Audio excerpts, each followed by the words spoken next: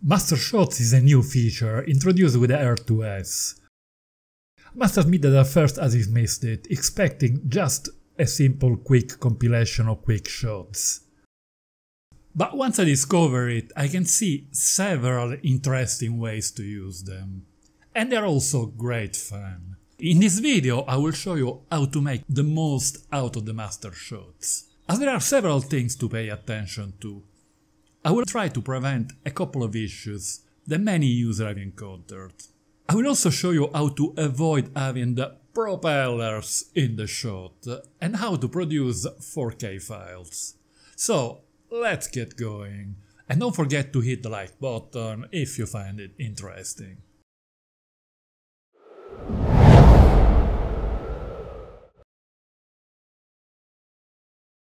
After selecting a target, with a single click the drone will perform a series of automatic moves around it for about 2 minutes, in order to generate a 20 second short movie of the surrounding with music.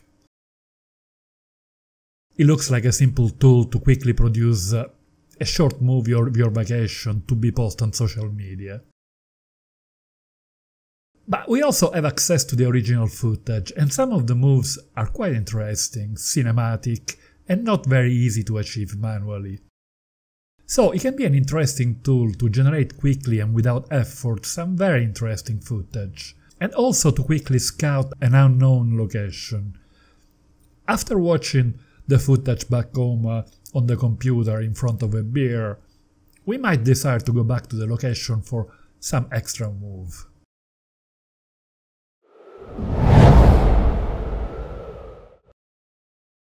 This baby lacks lateral sensor, so it is important to choose a wide open location without obstacles, as it is hard to predict the movement of the aircraft during the 2 minute flights, especially the first few times you use this mode.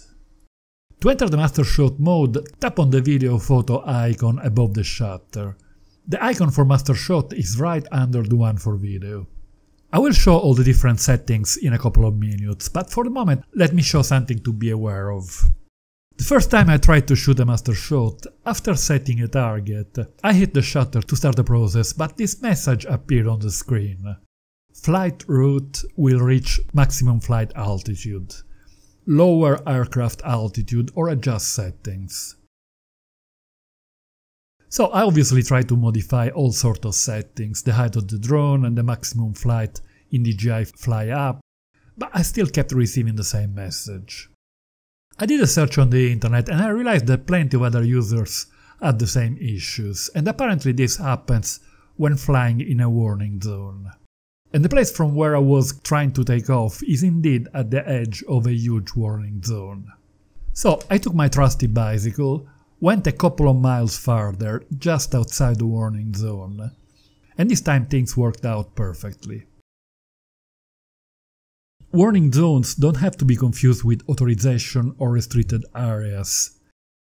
It is perfectly legal to fly within a warning zone, and in fact for normal video or photo the flight of the aircraft is allowed by the geofencing system, while in restricted or authorization areas the drone would not take off. This is probably a mistake in DJI Fly app that I hope will be soon fixed by upcoming software upgrades. In the area where I live and in most areas in Europe, there are warning zones everywhere, so the possibility of using master shot are severely restricted.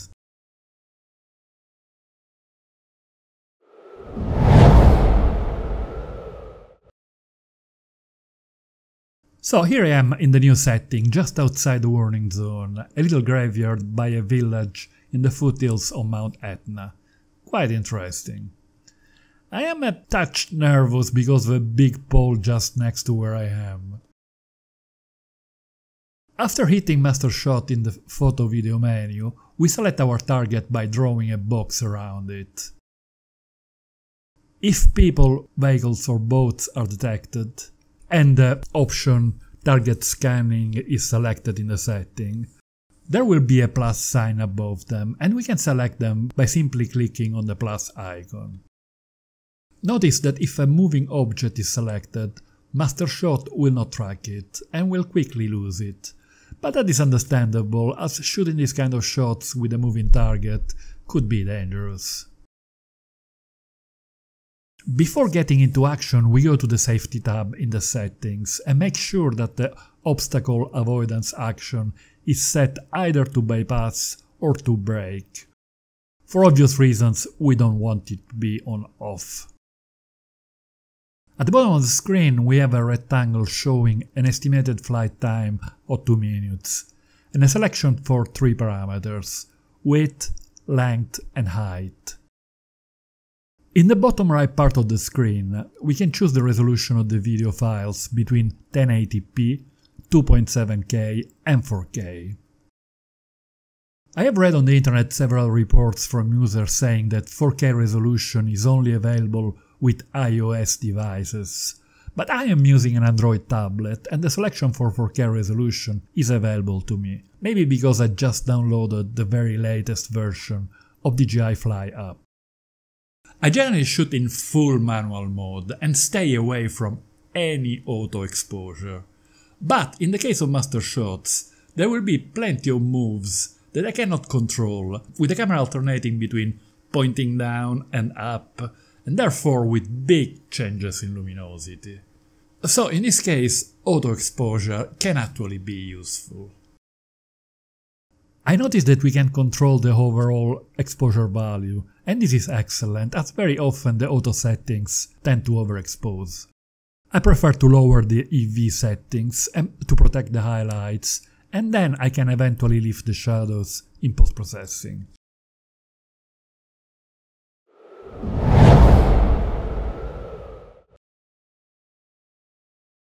After setting up the parameters, we can hit the shutter and get going. For a few seconds the aircraft will orbit around the target in both directions, making some calculations, with a message adjusting aircraft position. Then he will perform a dronie flying away while rising in altitude. Then a circle move.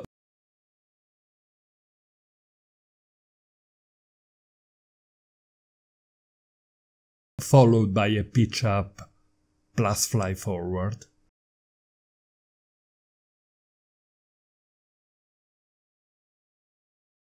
Another circle, but this time at a closer distance.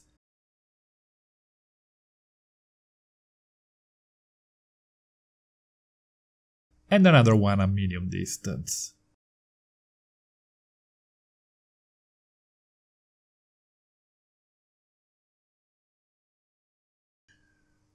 After that a rocket move, rising in altitude while maintaining the camera pointing at the target followed by a forward move with the camera pointing down until the target is right below the aircraft.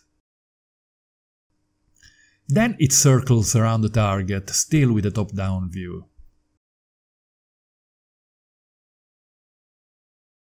After that the camera points straight up while the drone descends,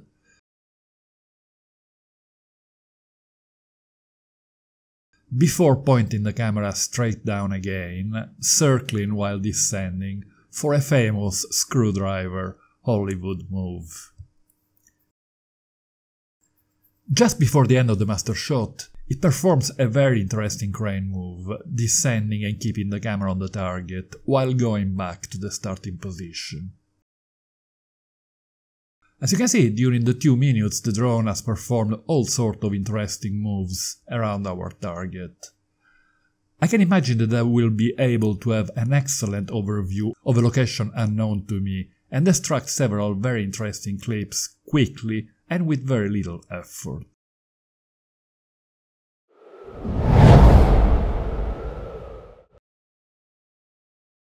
I shot 3 master shots in this location, let's see the results. The files containing the entire footage shot are nicely stored on the SD card, and I can upload them to my computer. The first one was done without any setting, I just selected the target and pulled the trigger. The resulting file is in 1080 resolution, not really what I want, But apart from that, the moves are really interesting. The color and contrast are not bad. But after 30 seconds, tragedy. We can clearly see in the shot not only a propeller, but also part of the wing. There have been plenty of reports on the web about propellers showing up in master shots, but it is very easy to prevent this from happening. If we go in the settings for camera, we notice that they are different from the ones we get in other video modes, as they are context sensitive. In other words, they apply only to master shots. There is a choice shooting priority, which is by default set to obstacle avoidance. When in obstacle avoidance, the aircraft will prioritize safety. When circling, the gimbal will rotate the camera to the side as much as possible to avoid a sideways movement of the drone, so that the obstacle sensor works better. The trade-off is that this might occasionally bring the props into the shot. Although, in our clip, it only happens once for a split seconds, and can very easily be cropped away. So it could be a good idea to go for safety. If we choose composition, the gimbal will behave normally and there won't be any hint of propellers in the shot, but only use it when there are no dangerous obstacles in the surroundings. For this second clip I had chosen the option composition and there are no props in the footage.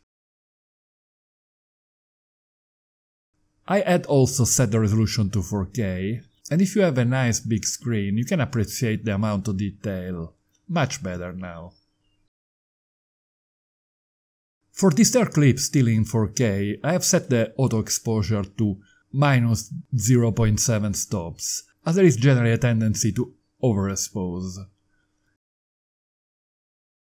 In the icons at the bottom of the screen I have modified the height value from medium to large. The drone is now circling at a higher altitude and after a very quick color correction, the footage looks really nice.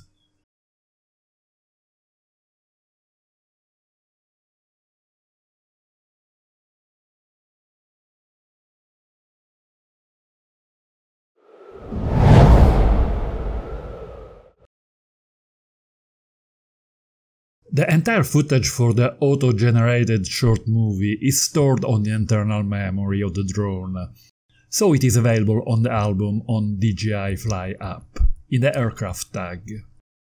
It's about 2 minutes long. It is possible to download it.